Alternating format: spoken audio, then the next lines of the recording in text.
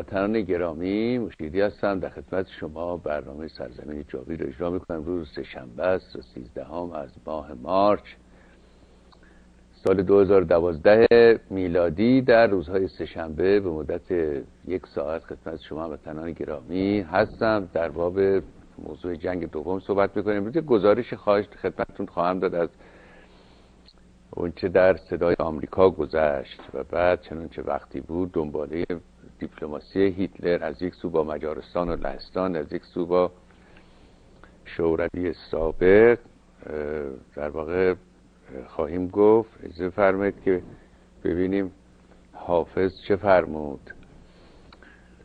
میفرماید سرم خوش است و به بانگ بلند می‌گویم که من نسیم حیات از پیاله میجویم.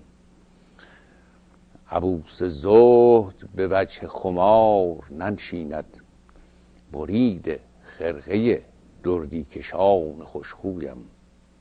حالا بر سر این واژه مقاله ها بحث و فحص های خیلی خیلی شدید و غلیزی رفت در روزگار قدیم که عبوس زهد به وجه خمار بنشیند یا ننشیند. بالاخره معلوم هم نشد. به نظر می رسد که همین ننشیند درسته. باری عبوس زهد یعنی زهد عبوس در واقع مقلوبه عبوس زهد به بچه خمار ننشیند. مرید خرقه دردی کشان خوشخویم. شدم فسانه به سرگشتگی یا ابروی دوست کشید در خم چوگان خیش چون گویم. گرم نپیر مقان در به روی بگشاید کدام در بزنم چاره از کجا جویم؟ مکن در این چمنم سرزنش به خود رویی چنان که پرورشم می‌دهند می‌رویم. در واقع حافظ که رندی است و سایر رندان هر شود که می‌زدن به دین درک مشیت الهی بود است که ما رند باشیم و قلندر و شراب خاره و عرض کنم که دست خودمان هم نیست. خود شما میفرمایید آخونده عزیز که خداوند تبارک و تعالی همه چیز در دست اوست. چیزی جز مشیت او بر ما نیست. یعنی ما هر عملی می‌خوام بدیم ابتدا در ذهن خدا گذشته بعد بعد بنابراین مرتب حافظ تکرار می‌کنم در پس آینه توتی صفت هم داشتن اون چه استاد ازل گفت بگو می‌گویم یا حافظ به خود نپوشید این خرقه میالود. ای شیخ پاک دامن معذور دار ما را. اینجا هم همون معنی است. گناه رو انداخته در واقع یک نوع استدلال است. وارونه در واقع. مکن در این چمنم سرزنش به خود رویی چنان که پرورشم می‌دهند می‌رویم. تو خانقاه و خرابات در میان مبین خدا گواه که هر جا که هست با اویم. قبار راه طلب کیمیای بهروزی است غلام دولت اون خاک انورین بویم ز شوق نرگس مست بلند بالایی چو لاله با قده افتاده بر لب جویم. بیار می که به فتوای حافظ از دل پاک. قبار زرق به فیض قده فرو شویم در همه اینها گوشه و کنایه هست تعنت هست نقد اجتماعی و نقد دینی هست. این همه حافظ گفت ما که گوش نکردیم که فایده چه فایده داره؟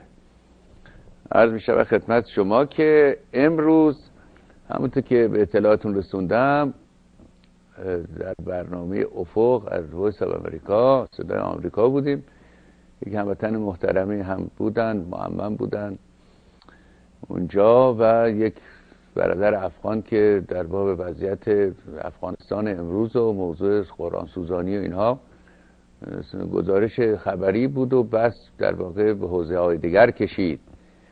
من خدمت شما ارز کنم که سوزاندن کتاب هر آینه یک کار مطرود و بسیار بسیار هولناک و پلیدی است. حالا بگذاریم که این کار بر اثر خبت و خطا و بی, توجهی بوده. هیچ مملکت عاقلی لشکر نمی‌کشد به یک سرزمینی مسلمان بعد اونجا بیا قرآناشو شروع کنه بریزد در آتش. اصلا چنین چیزی میسر نیست.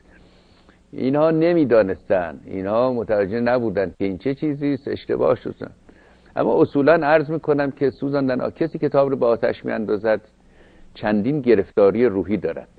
یکی اون که آزادی بیان رو بر نمیتابد.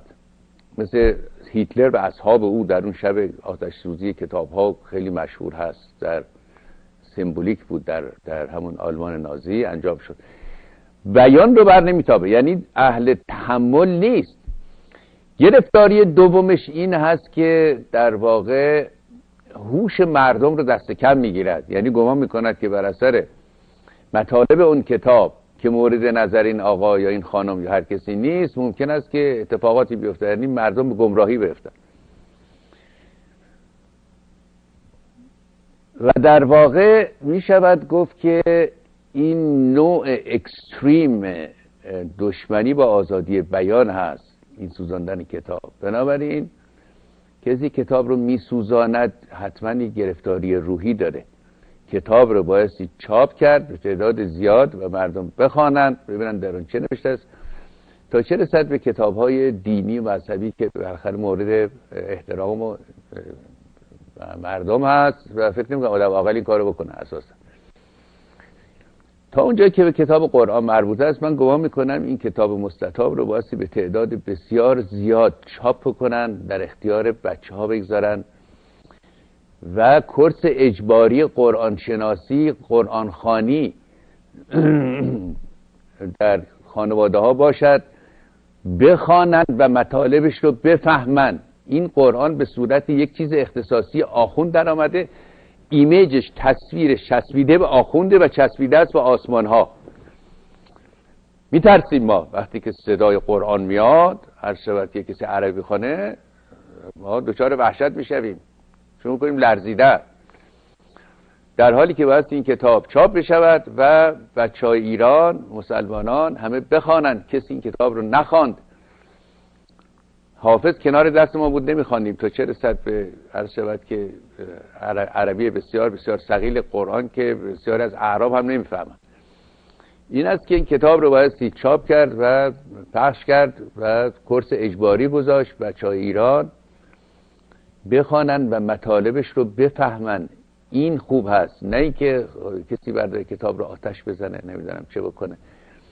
این سفاهته کتاب رو پاره کردن و سوزاندن و اینها سفاهتی است. حالا بگذاریم که خود عرب عرب مسلمان هیچ گونه ارزشی بعد هیچ کتابی قائل نبودن. حالا ما ضمن این که سند متقنی در دست نداریم که کتابخانه ایران را آتش زدن اما این رو می‌دانیم که معتقد بودند که خواهر خوشگتری در جهان در قرآن هست. بنابراین لازم نداریم کتابخانه اسکندریه البته می‌دانیم در حمله امر امر ابن آس آتش گرفت و در واقع چند قرن میراث مدنیت انسان در اونجا سوخته از میان رفت. در اسکندریه میدانی که کتاب بسیار کتابخانه بسیار بزرگی بود. فهرست بندی شده همه دانشمندان گیتی می‌رفتن اونجا تحقیق می‌کردن و اینها می‌دونم. باری این کتاب سوزانی کار زشتی تا اونجایی که بحث ما امروز در واقع در این گونه موارد مثل همین فرصتی که در صدای آمریکا در دست من بود زمان برای مقدم چینی و بیان مطلب و استنتاج نیست. این است که مطلب ممکن است که هر سبت که کار به ایجاز مخل بکشد به قول ادبا ادبای قدیم. فرصتی نیست در واقع. چند دقیقه است و اینا. سخن از تقدس بود و اینها. تقدس. در واقع به ما گفتند که کتاب مستطاب قرآن قرآن شریف از آسمان ها آمده و این قانون خداوند هست از اون بالا آمده و هیچ گونه تغییر و تبدیلی درش نیست و هیچ گونه عیب و نقصی در این نیست. کاملترین و جامعترین و بهترین چیزی که بوده در و باز به ما گفتند که پیامبران پیشین در واقع از ابراهیم اینو میگن ادیان ابراهیمی. ابراهیم که بود است و موسی بوده و که بوده و که بوده و مسیح بوده اینها پله هایی بودن در طریق تکامل تا برسد به اسلام. و به اسلام که رسیده است یک سره اون چنون کامل شده است که از اون کاملتر میسر نیست.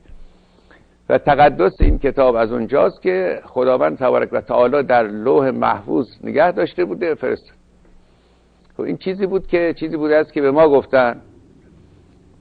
بله. حالا چند اشکال در این ماجرا هست؟ در چنین تصوری اشکالات واقعا بسیار بسیار مهم و بسیار بسیار عظیم در این داستان هست که این کامل ترین و جامع ترین هست. و ارز کنم که کسی که مسلمان هست گمان می‌کند که همه حقایق گیتی در دست اوست. اولین زیانش این است که هیچ راهی به کمال باز نمی کند چون وقتی که ما کامل کامل هستیم در واقع جامعه جمیع علوم هستیم جامعه جمیع حقایق هستیم دیگه جستجوگر نه حقیقت هستیم نه به کمال راهی داریم. اگر انسان حس نقص نکند که به کمال راهی ندارد. این است که ما که جایی قرآن که کامل ترین و جامع ترین و نمچه است و معجزه است و فلانی حرفا هست در دست ما است ما الحمدلله مسلمانیم دلم خوش است که نام کبوتر حرم است. این در واقع سبب شد که از همون روز نخست مؤمنین به این دین معتقد بری شدن که از کنم تمام کمالات گیتی از این هاست. یک کوچکترین حرکتی به سمت تعالی این جوامع مسلمان نکردن. حالا چهار نفرم پیدا شدن در ایران و اینا به خاطر سابقه فرهنگی و آثار یونانی و هندی و اینا یه مش ریاضیات و اینا. در یه دوره خیلی کوتاه که اونم اصلا بر باد رفت. یعنی در واقع در مملکت ما بزرگترین قربانی عقل بوده خرد بوده. شما فرض کنید یک بیابانی رو تصور کنید پر خار پر خار مقیلان و پر از گرد و خاک و پر از قازورات اینا یه لاله سر بر می‌کشه ظرف چند دقیقه خاک و خل و اینا ریخته میشه اونم لالم ناپدید میشه. خرد و تعقل تداومی نداشته در این مملکت. اما تا دلمون بخواد خرافات سخنان لاتائل موهومات ما بعد و طبیعی و ما عاشق این چیزا هستیم. ما مردم ایران کشته و مرده خرافات و دروغه به جهت اینکه روی حقیقت شدن و در چشمان حقیقت نگریستن بسیار کار هولناکی است. بسیار وحشتناکه. به این آسانی نیست و حقیقت روبرو شدن. اما در آغوش دروغ پناهیدن و لغمه چرب و نرم و گرم دروغ خوردن این خیلی چیز خوشمزه است. دروغ خیلی مزه داره. خیلی خیلی خیلی خوبه. چیز خوبی است.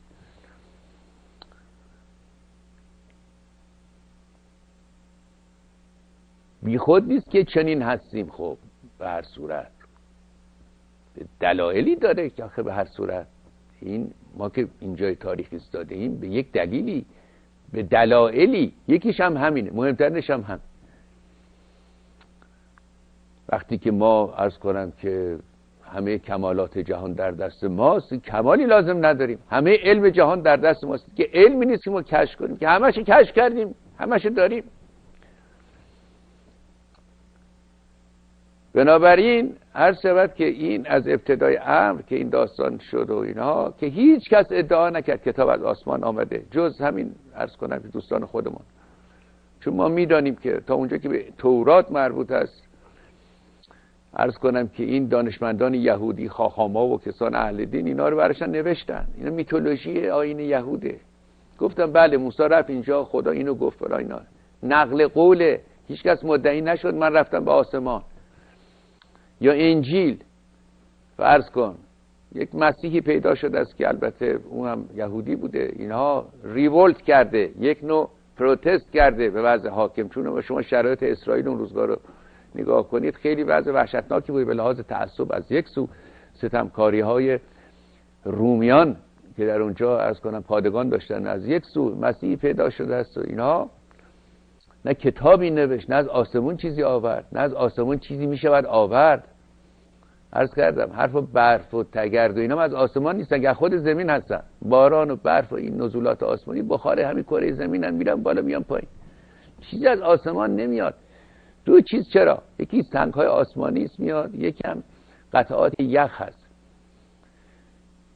با گرد و غبار فضایی گاهی اوقات می‌خوره به همین فضای زمین بر اثر استکاک اینها. میسوزن منفجرم میشن. گاهی وقتا به زمین می‌رسن. چیزی دیگری کدوم آسمان؟ اصلا آسمان مقالطه است. کدوم آسمان؟ آسمانی وجود نداره. در روزگار قدیم که این کتاب نوشته می‌شد گمان می‌کردن این زمین چندین بار قرآن اشاره به صاف بودن زمین می‌کنه. مسطح مثل بشقابه. بعد سقف داره. مثل من اینجا نشستم سقف دارم. اینجا یا شما در منزل نشستین سقف اینا خیال می‌کردن که این زمین اینم سقفش. گفتن آسمان. آسمان که معنی نداره. شما تشریف ببرید به کره ما اونایی که رفتن عکسا رو گرفتن کره زمین در آسمانه. چه آسمانی از آسمان آمده؟ یعنی چه؟ این چه حرفی است آخه؟ غیر ممکنه. اصلا غیر ممکن غیر ممکنه. مثل که فرض فرمایید که دولت ایران بگوید که به یه آخوند خیلی مؤمن بگوید آقا ما سالی 400 هزار تن گندم از کانادا می‌گیریم شما برو اینو بریز تو جیبت بردار بیا. میگه آقا نمیشه. برو معجزه کن آقا از خدا طلب کن 400 هزار تن رو بریزه در مثلا جیب بغلت بردار بیاره. غیر ممکنه. خب غیر ممکن غیر ممکن. آقا نشده نمیشه. نمی‌شود که بشود. هیچ شاهد عینی. اصلا معجزه نبوده. نمی‌شود که معجزه باشد. اصلا نیست چنین چیزی. در واقع این قوانین طبیعت به وجهی است که تخطی از اینها میسر نیست. امکان ندارد که یه کسی بیاد. خود خدا هم این کار نمی‌کنه. تا حالا نکرده. که یک مرتبه مثلا فرض کنید که ما این عرض کنم که سلوفان چیه پر آب من رهاش کنم به عوض که بره به زمین میره به آسمان. چون این چیزی نشده یا آب سر بالا بره یا کتاب از آسمان بیاد. نمیشه چنین چیزی. غیر ممکنه. برای تمام این معجزاتی که در این کتاب ها بیان شده است یک شاهد عینی نیست. حالا نمی‌شد که این جبرئیل این همه رفت اومد عمر و ابوبکر و علی اینا یه شاخ سلامتی می‌کردن یه یخنی با هم میخوردن. ما می‌دونیم آقای جبرئیل تو بایستی بری به آسمون ولی بشین یه مثلا بستنی اکبر مشتی با هم بخوریم. نیست نبوده نمیشه نمیشه میسر نیست. باری این داستان شد و بعد فقه به وجود آمد. فقه. حالا فقه چه چیزی هر شود که در طول مدتی که بنیانگذار اسلام حرکت کرد و شرایط زندگیش خیلی خیلی متغیر بوده در روزگاری 13 سالی که در مکه بوده و ده سالی که در مدینه بوده اونجا به صورت یک در واقع مسلح حرکت می‌کرده و سخن می‌گفته. اینها سخنانش بیشتر جنبه شاعرانه دارد و یک لمسی از تعلیمات مسیح در مدینه داستان تبری گفت آیات صبر و احتمال فرو گذاشت و آیات جهاد و قتال آورد. اونجا به صورت یک فرمانده جنگی اونجا مدینه به صورت یک کمپ بسیار هولناک بوده از کشتار و گرفتن و اینا. این ارز کنم که اینا اونقدر با هم متضاد هستن این سخنان حیرت انگیزه. اینا حالا اومدیم سر فقه. فقه چه چیزی است؟ گفتن که آقا خب این مسلمین بایستی با قوانین اسلام چیز بشن و اینها. و این قوانین اسلام در واقع عرض کردم کاملترین و جامعترین است. دیگه نقطه کمال هست. دیگه بعد دیگه در وحی بسته شد و کتاب متاب دیگه نیامده و از این حرفا و نه خب یکیش خود کتابه. حالا این نکته اینجاست خیلی جالبه. میگن یکیش کتاب خداست. خب این کتاب خدا. حالی که کتاب خدا نبوده که بابا جان که عزیز من یه کسی گفته نوشتن. یعنی در پیشگاه عقل خنده آوره واقعا. که ما فکر کنیم که حالا بنده نمیگم کسی دروغ می‌گفت. خیلی کسان صدا میشنون. پس این کتاب یعنی شما اگر به کتاب مستطاب قرآن شریف نگاه کنید و تاریخ رو بدونید می‌دونید که هیچ چیز عجیب و شگفتی در اینجا نیست. همش در واقع معلول وقای تاریخی است. مثلا عرض می‌کنم خدمتتون. در مدینه می‌دونید که خب یهودیان بسیار بودن. 55 درصد مدینه یهودی بودن کسب و کار داشتن زمینی کشاورزی داشتن. مسلمین که رفتن ارز کنم پیغمبر اسلام خیلی با میونش با یهودیا خوب بود با اینا صحبت می‌کرد مسافرت کرده بود. خیلی وقتی هم که وارد شدن اونجا گمان بردن که خب حالا یهودیا پشتیبانی می‌کنن و ابتدا هم جمع می‌شدن و حرفاشون گوش می‌دادن. این داستان ها و قصه ها رو اونها یاد داده بودن به ایشون و اینها. در تکریم اونها چنان سخن رفته که هیچ شاعری چنین چیز در حق هیچ پادشاهی نگفت. یا بنی اسرائیل از کرو نعمتی التي انعمت علیکم و انی فضلتکم بالعالمین. اصلا هیچ شاعری عنصری برای محمود همچین چیزی نگفت. یاد بیاورید نعمت هایی که به شما ده و شما را بر جهانیان برتری دادیم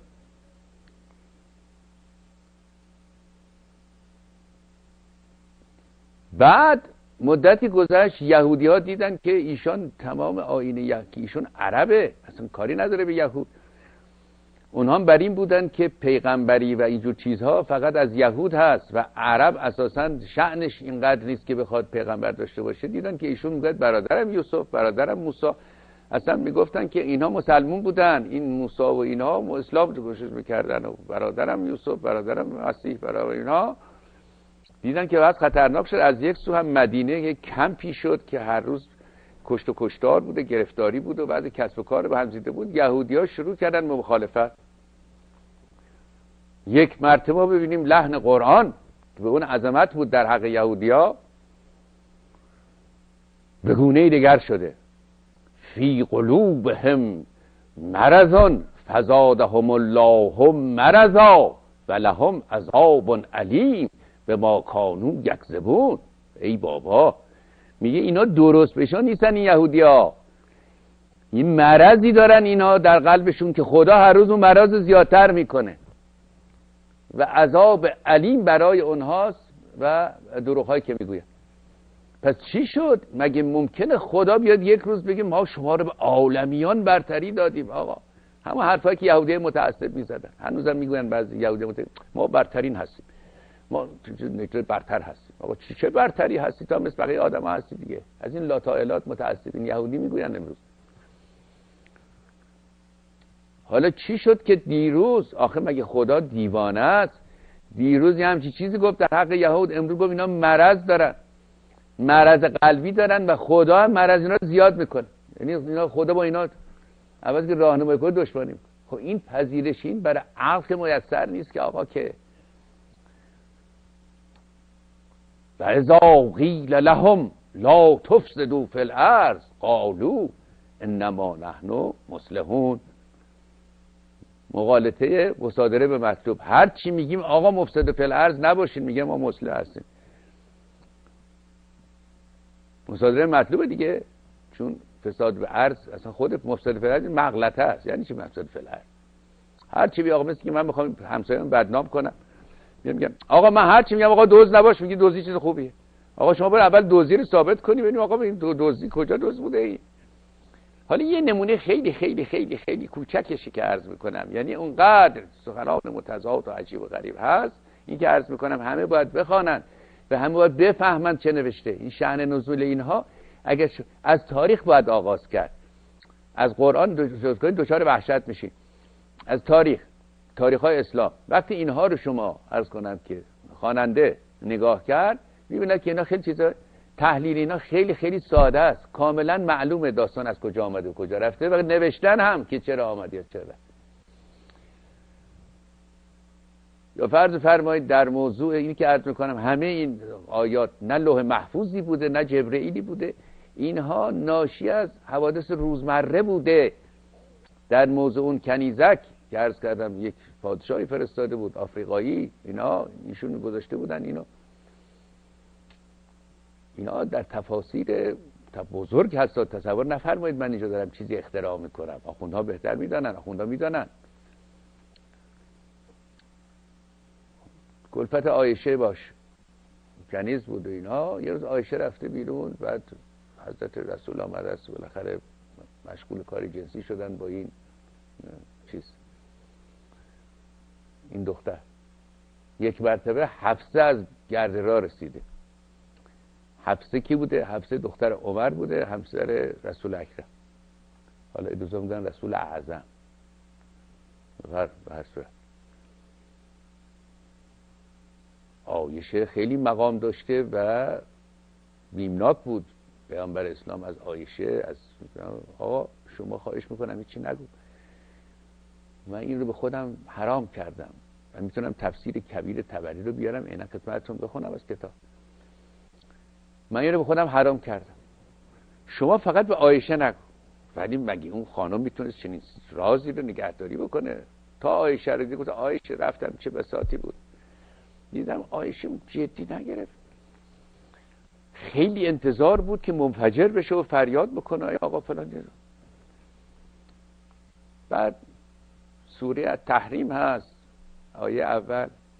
بعد ایستادن به نماز بعد جبریل آمد. خنده فرمودن پرسیدن یا رسول الله چرا خند لبخند میفرمه گفت جبریل همین الان اومد گفت آقا چیزی که ما حلال کردیم تو چرا حرام می‌کنی؟ آیه اول نگاه کنید میگه آقا چیزی که یا رسول الله حالا شما تصور بفرمایید. خدا؟ خدا؟ خالق گیتی؟ 500 هزار 500 بیلیون کهکشان؟ مترسد اینه که کی با کی کدوم کلفت به خواب بیاد نمی‌دونم چی چی فلان جبرئیل بزن. اینا رو ما چگونه ما اینا رو توجیه کنیم؟ آخر بابا دست داریم از این داستان ها چرا حرام کردی به خوده ما به تو هر تو خود به خود حرام کردیم. لبخند فرمودن حالا چیکار کنیم؟ بریم بیارینش خب بالاخره. رفتم با داریه و زمرا اینا براشتن آورد. دختر زیبایی هم بوده یا همه ارز کنم اون چی هست متناسب با وقایع روز و رویداد هاست و اینها نمی‌توانند معیار بشریت باشه.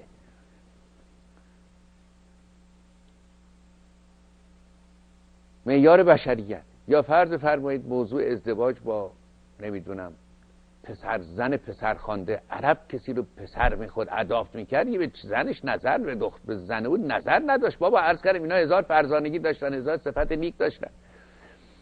حالا زد اون خانم زیبا بود زن اون زید و حضرت تشریف بردن دیدن و خودش شوهر داده خیلی زیبا شده اینا. مرتب میفرمودن که تبارک الله احسن خالقین اینا. زید اومده بود آقا خبری شد. اینا همه در قرآن در تفسیر بپرسید از آخوندها. من اینجا چیز اختراع نمی کنم خودم میگم. تا کنون هیچی من اختراع نکردم اینجا. آقا چی شد؟ رسول الله تشریف آوردن اینجا. خب چی گفتن؟ مرتب میفرمودن که چنین و چنا تباری کرد گفت تو دیگه به من حرام شدی. گفت آقا یعنی چی؟ آقا چی یعنی حرام شد؟ نخیر ایشون فرمودن به زن هر کس که علاقه من شده باید طلاق بده ایشون بگی یا حالا معیار بشه برای تمام بشریت که اگه زن پسر خوندن زن زیبایی داشت از دستش در بیاره. اینم شد حرف. اینو کی می‌خواد قبول کنه؟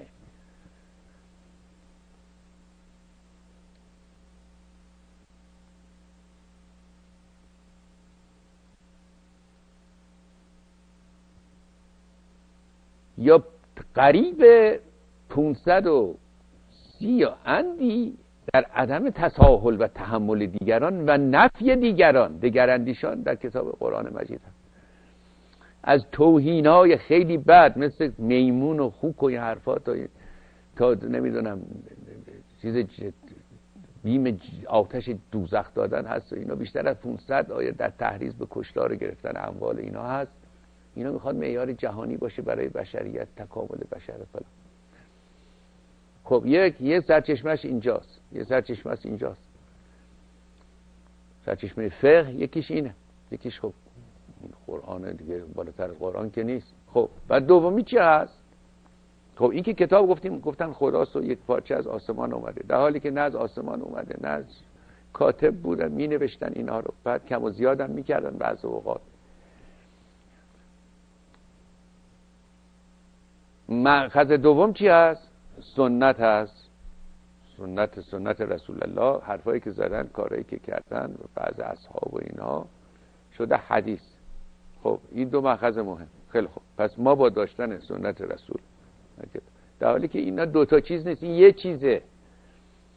مقالطه اینجاست که خیال می‌کنیم این دو چیزه. یه دو چیز نیست یه چیزه. کتابی است که ایشان آورده نوشته و کاری است که ایشان کرد حالا شما تصور بفرمایید خداوند تبارک و تعالی یک مردی رو بیافریند در جزیره العرب. حالا با اون از کنم وضعیتی که بود و اعمال و رفتار و برداشت های یک شخص بشه معیار جهان بشه به ابد برای آدم. آدم هر کس هم قبول نداشت ریخت سر سرش برید. یا کافر خان توف کرد بهش. خونش نجس مالش چی است. آخه این چه داستانی است؟ این چه ادباری بوده؟ یقه ما رو گرفته. خب حالا این شد سرچشمه فقه. خیلی خوب. و کم میاد آقا. چیزی نیست که آقا تمام قانون جزایی در یه ورق و نیمه. این جوامع پیچیده و جرم های مختلف و عرض کنم که داستان ها پیچیده به خصوص امروز که اصلا گفتنی نیست. نوع جرائم. این کسی دو دستش ببارید یک کسی چیز به خود شلاقش بزنین دو سه تا چیز بیشتر نیست که حالا چیکار بکنی؟ کم آوردیم. کم آوردیم. رسیدن به مرز یونان به وضع روم ببخشید ایران آمدن اینا حالا چیکار بکن بهش اضافه کردم. بهش اضافه کردم. قیاس و اجماع. دو رکن مهم دیگه. قیاس یعنی که وقتی با یه امری مواجه شد قاضی که پیش بینی نشده در سیرت رسول یا در قرآن کریم اونجا از طریق قیاس حکم صادر اجماع هم یعنی امری که بیشتر فقها بهش اتفاق نظر دارن. و این چهار رکن فقه بوده. خیلی خوب. حالا شیعیان اومدن گفتن عقل. حالا خنده آور اینه که شیعه صحبت از عقل بکنه خیلی خنده آوره واقعا. حالا استحسان هم هست چیزا دیگه چهار مکتب فقهی اهل تسنن هست. یک مکتب جعفری اینا. خیلی خوب. حالا تکلیف انسان دیگه معلوم شد. در واقع انسان انسان اسلامی خداوند در ماعده است. اگر خطا نکنم. خیلی وقت پیش نگاه کردم. می‌گوید که خداوند مال تو جان تو مال تو رو خریده. لغت خرید فروش بکن بهت بهش فروخته. تو دیگه صاحب جانت و صاحب ما هیچی نیستی؟ چرا؟ چون فروختی بهش خریدی. فقط تو روی زمین هستی که قتال کنی. آدم بکشی جهاد کنی تکلیفت معلومه. در واقع انسانی که متولد میشه بر روی این کره زمین در دستور اسلام این هست که این هیچ مسئولیتی نداره. هیچ حقی نداره. چون همه حقوق از اوست. انا لله و انا الیه راجعون. همه چی از هر حقی از اوست. حقانیت اوست. حق هم دست. انسان حقی نداره. انسان تکلیف داره. تکلیفش چیه؟ تکلیفش نماز است و روزه است و حج و جهاد و زکات و فلانی حرف. اجازه فرماید که یک موسیقی کوتاه بشنویم برگردیم. این قصه پرقصه واقعا بعد از 1500 سال این ادبار این گرفتاری واقعا نمیشه بدم چه باید گفت تا چند لحظه دیگه. بر شما هم تنان گرامی در واقع در باب این بحث امروز صحبت می‌کردیم.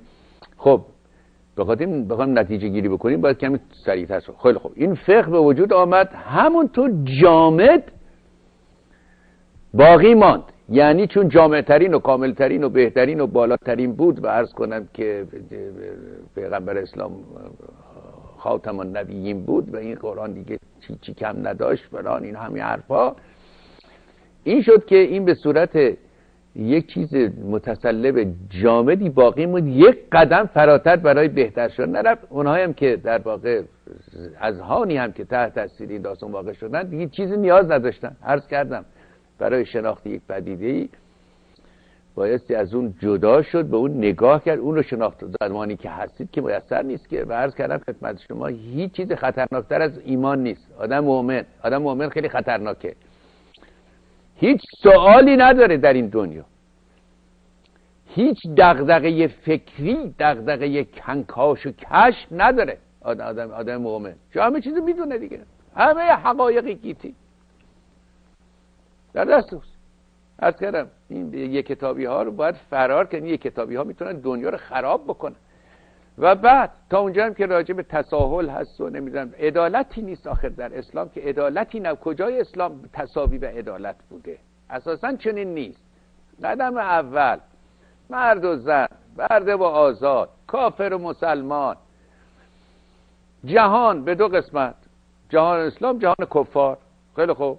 دارالاسلام دارالحرب. اینا چیزای ابتدایی است واقعا پیش پا افتاده است. اینا دیگه در, در تاریخ اسلام. یعنی ما مسلمی باید دست هم بگیریم اونقدر حرب بکنیم یا دنیا رو تسلیم کنیم همه رو قتل عام کنیم. هندیا مثلا اولین کسا هستن. اصلا این پاکستان اینقدر به اسلام چسبیده هیچ کس در دنیا مثل پاکستانی به اسلام نچسبیده. برای اینکه هندو رو از بین ببره. هندوها رو بکشه. آرزوشونه. پیر مرده هفتاد ساله من دیدم این آرزوشون بوده. خب دار الاسلام دار الحرب کدوم تصابی و تصاور انسانیت و این حرفا. حالا البته کفار حربی هن اینا. حالا کفار غیر حربی هم اهل ذمه. اهل ذمه یعنی که اهل کتاب باشی. اهل کتاب. گفتن مسیحی و یهودی اینا اهل کتابن. باشن پول به ما بدن زندگی کنن. در واقع مالیات دین به ما بدن. میبدن نگاه می‌کردن یونجه گوسفند نمی‌دونم چی فلان درخت خرما انگور اینا اینقدر باید به ما بدید تا بتونی زندگی کنی آخه این چه داستانی است واقعا؟ بقیهش هم که دارالحربه یا باید مسلمان بشن یا ما می‌کشیم اینا رو. قتلشون واجبه.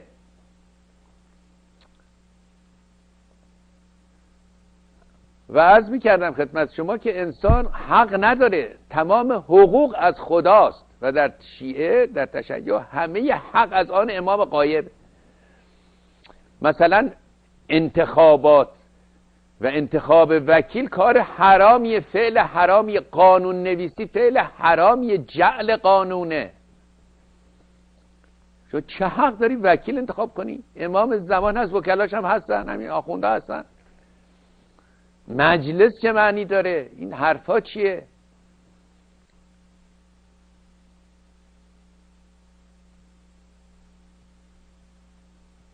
تکلیف داره. مسلمان تکلیفش این است که نمازشو بخونه روزشو بذاره خمس زکاتشو بده با آخوند نمی‌دونم چا کنه حج بره فلان کنه. هیچ کاری دیگه نداره.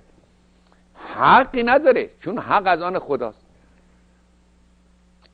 به خصوص قانون نویسی خطرناکترین اینها قانون نویسی است که عرض کردم انسان انسان مدرن انسان مدرن انسانی است که با حق از مادر متولد میشه و این آسان به دست نیامده. حق قانون نویسی داره. قانون آقا قانون نویسی انسان برای انسان باید قانون بنویسه نه قانون نمی‌دونم وحی ما بعد و طبیعه از کجا آمده.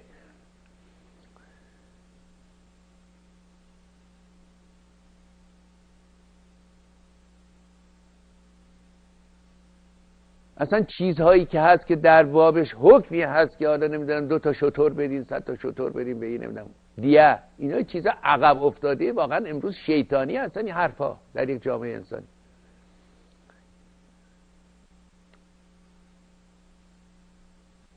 یک چیزای شرماوری هست که آدم خجالت می‌کشه واقعا بیان کنه اینها.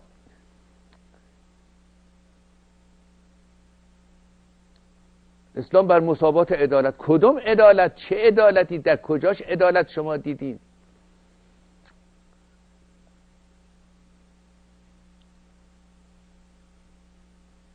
دیه زن نصف دیه مرد. خیلی خوب. نو یا نو آیه جمعا در قرآن در باب زن هست. همش راجع به جماع هست و حیز و نفاس و این چیزاست. یه جا میگه آقا مرد زن عقلشون درست نیست. با اینا نمیشه با انصاف رفتار کرد. یه جا میفرماید که اینا نصف مرد هستن اینا. بقیهش هم راجع به سکت. همش می‌تونم بیارم خدمت خیلی خوب. حالا این ماجرا واقعا نمی‌دونم گفتنش هم مشکله ولی میگیم دیگه قانون اساسی جمهوری قانون جزای جمهوری اسلامی یه بار دیگه هم گفتم ولی ما نباید فراموش کنیم اینا رو ببینیم با کی زندگی می‌کنیم. ما مردم بزرگ ایران آقا ما ملت تاریخی هستیم. عزیزان آقا نگاه کنید ببینید چه بوده. پشت سر ما آثارش هست. از بزرگواری از عدالت. خب یه زن دیش پنجاه شد. مرد دیش صد شد. بله؟ صد تا شطور خب وقتی مرد صد تا شطور آخه ببینید. شطور شده معیار قضاوت نمی‌دونم چی چی جزایی در مملکت ما. صد تا شطور. خب یه کسی کسی کو صد تا شطور بری بری دنبال کارش. حالا جامعه صدمه می‌بینه مهم نیست. قاتل این آقا مهم نیست. صد تا شطور بده به ریاضت بره دنبال کار زندگیش. حالا زن بکشن چی میشه؟ 50 تا شطور. بیولوژی اسلام می‌گوید اگر که هر شود که یک مردی رو بیضه رو قطع بکنن چه بالغ باشد چه نابالغ باشد چه عنین باشد. فلان باشد این دیه complete داره دیه ست شد. حالا بیولوژی رو ببینین بیولوژی الهی. می‌گوید که اگه بیضه چپ این قطع بشه 66 تا شتر اما راستش قطع بشه 34 تا شطور نتیجه که می‌گیریم اینه که بیزه چپ مصباح یزدی 16 تا شطور از از خون ماریکوری بیشتر ارزش داره این عدالت اسلام. قانون جزایی. نمی‌دونم شماره 300 قانون جزا نمی‌دونم چی. نگاه کنید هستش میگه چه پیشرفته است؟ حد می‌کنه آدم از این همه پیشرفت. اینا قضایی های جدی است واقعا. من دیدم بعضی کسان میخندن. اصلا خنده نداره این داره گریه داره. واقعا این وضعیت عقب افتادی این ادبار نکبتی که واقعا نازل شده به این جامعه گفتنی نیست. تنها راه نجات این قضیه و محترم داشتن همین قرآن که به هر صورت اجداد ما و نمی‌دونم چی باش زندگی کردن یا حالا قبول داشتن یا نداشتن سنتی بوده محترم داشتن این است که این آخون بره به سر کار زندگی خودش. و شرش رو کوتاه کنه و جامعه راه خودش رو بره. آخه آخوند که برای حکومت نیست. سکولاریسم به قول معروف. حالا این تبلیغ می‌کنه که این سکولاریست های نام بی خدا هستن می‌خوام بیان فلان کنن. خود آخوندها می‌دونن این داستان ها رو. عقب به عقب افتادگی اینا وارد اما اینا منافع سنفی دارن منفعت سنفی دارن. آقا این داستان حسین و این داستان که بهش اشاراتی شد اینا دکان این هاست اینا از زندگی می‌کنن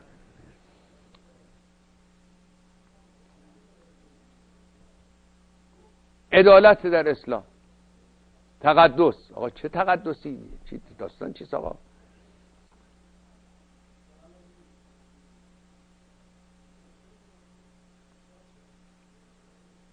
در تمام این قرآن یک آیه برای حق, حق کودکان. اصلا وجود نداره. چرا؟ تا نابالغ است ولی دمش پدرشه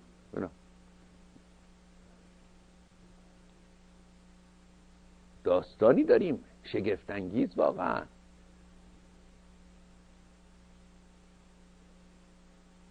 زحماتی رفت واقعا. بیرون کردن این آخوندها از این دادگستری ایران آسون نبوده به کارهای کسروی. سه دقیقه فرمودیم. نگاه کنیم. زحماتی هم که داور کشید زمان رضا شد دادگستری رو درست کردن. 1927 که رسیدیم 600 قاضی عرفی نشسته بودن. قوانین هم عرض کنم از قوانین جزایی فرانسه و اینها قوانین مدرن درست حسابی گرفته بودن. یه چیزی برای آخوندا گذاشته بودن نمی‌دونم ارث و نمی‌دونم یه حرفا. اونم یواش یواش دستشون میباس می‌گرفتن.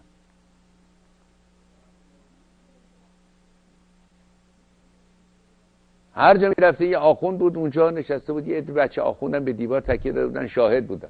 بار گفتم خدمت کسی می‌رفتن گفتم اینا چیکارن؟ اینا گفتن شاهدن قربان شاهد. شاهد چی هستن؟ اتفاق اینجا نمیفته گفت نه اینا پول می‌گیرن شهادت میدن آخونده میگه شاهد هم داریم میگه بله بله بیا تو حسن و حسین میان تو. شما بله بله ما دیدیم. امضا کنین اینجا رو.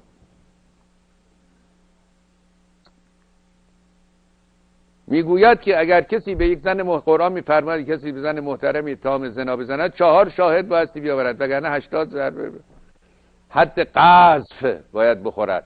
یعنی ضربه برای دروغ ولی شوهر می‌تونه مستقیما بدون شاهد به زنش اتهام زنا بزنه ولی قسم بخوره. پنج تا قسم بخوره. اینا قانونه مثلا الهی اینا مقدسن مثلا.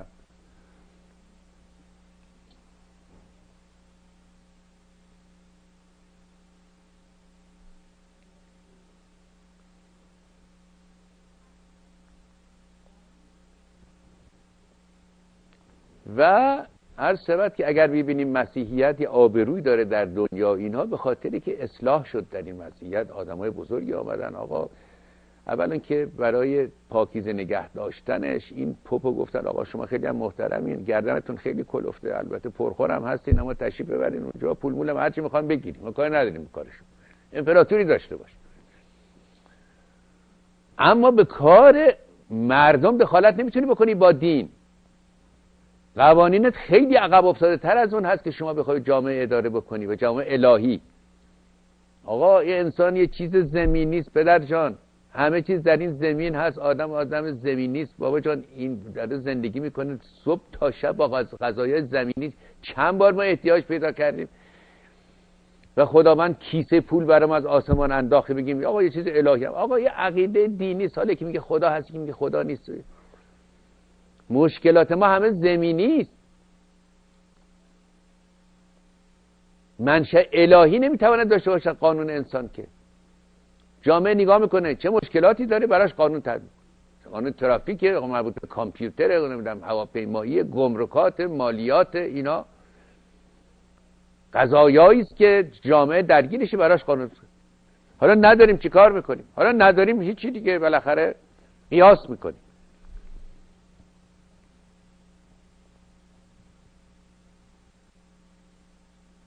اگه این جامعه هست یا جامعه هست یا نیست. اگه جامعه هست ببینیم قوانین گمرکش نشون بدیم ببینیم قوانین هواپیماییش نشون ببینیم ببینیم آقا جرائم مربوط به الکترونیک و کامپیوتر رو هر شود که هزار و یک چیز دیگه که هست نشون بدیم. نیست. خب اگه نیست پس یعنی ناقص دیگه.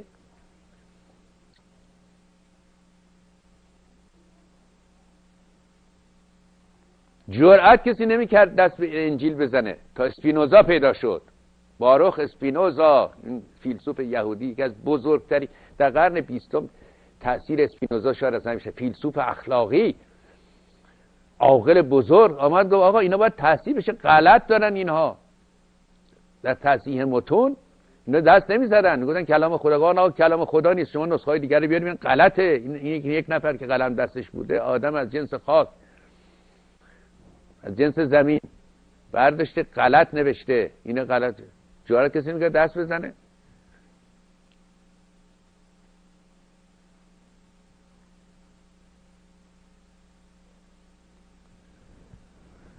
گفت این سخن پایان ندارد. ای جواد خط کن والله اعلم به رشاد.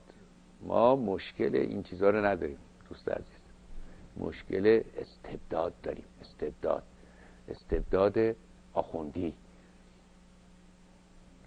ماهیت استبداد فرق نمی‌کنه. پوتینی نعلینی هر مستبدی هم که آمد یک شیوه تفکری داری که خودی غیر خودی ایجاد می‌کنه. ما بایستی بکوشیم. ما مردم تاریخی و بزرگ ایران زمین بکوشیم از شر استبداد خود راحت کنیم.